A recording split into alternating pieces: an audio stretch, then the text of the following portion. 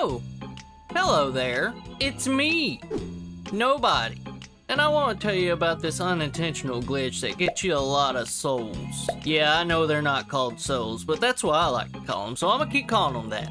There's a lot of people right now showing this glitch, but why not? Why can't I get some extra views as well? I'm just a small YouTuber that's trying to get out there more. Most of my videos is Elden Ring PvP content. But hopefully I can get some invasions soon with this character and maybe expand a little bit. First off, what you want to do is warp to the Bellroom Vestige. Well, the task is quite simple. All you gotta do is get past this guy right here. To do that, you soulflay him, pull his spirit out of his body, then you kick the old man off the edge right here, and you wait for the spearhead to come along. You want to stand right close to the edge and then Oh shit. That's not how it's supposed to go. Anyways, you can climb up here and kill this old man. What's up, old man? Stop! It's bad. Really? Oh, fuck. Where'd Spearhead go? I guess the Spearhead walked to his doom? Well, that works too. Now you want to go into the Umbral. jump over here, all the way over to this little perch. Lock onto that thing and pull it to you. And then lock onto that thing and pull it back. Now you want to have some ranged weapons so you can kill those peoples over there.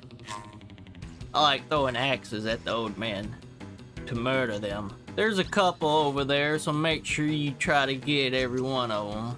Now when you're in the Umbral on this perch, you want to stand at this exact spot right here. And as soon as that eye fills up and starts blinking red, that's when the magic happens. All you gotta do is just sit here and just wait. Every once in a while you get the red aura and the Reaper guy will try to spawn in, but he'll fall right off the map and his souls will drop right over there. Along with some items that you can talk to this guy and trade them in for boss equipment. Now you can stand here and wait or you can even go AFK and your controller will die but he will still keep spawning in. Word of warning, if you wait too long it may glitch out your game a little bit. But you should still be able to get your souls. To safely get your souls from right here, just pull out your lamp and hit R1 and it will siphon in all the souls and collect them for you. And when you're done, all you gotta do is delete yourself. Now the most important thing you want to do here is go collect your lost souls, along with the items dropped. So you say hello to this dude, get his little ghost out there and run past him. Run up to the old man and kick him off the ledge. Make sure you're in clear view of the spike head. All you gotta do is stand directly next to the ledge wait for him to charge, and then jump out of the way, and collect the free souls. Always a good habit to climb up here and murder this old man. What's up, old man?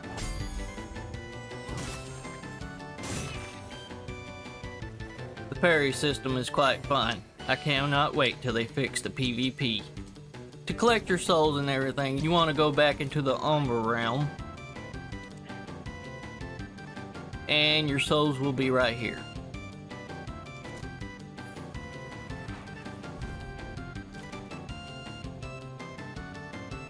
You go over here, you collect the items dropped.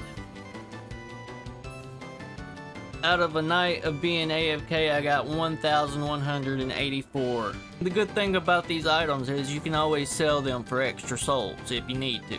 Run all the way back and rest.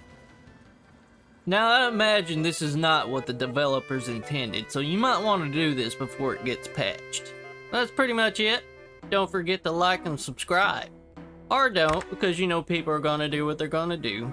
But thank you for watching. See you later guys. Have fun. Did you enjoy this video? Consider subscribing to the main channel at Mr. Nobody Elden Souls where it's more focused on invading. Or the second channel at Nobody Elden Things where its focus is on helping and will be the main hub for invading for dummies. Subscribe to both and I promise you will not be disappointed. Thank you for watching, my tarnished, and we will see you next time. Like and subscribe, or I'll death blight you in your sleep. This message has been approved by the mayor of Froggy Town.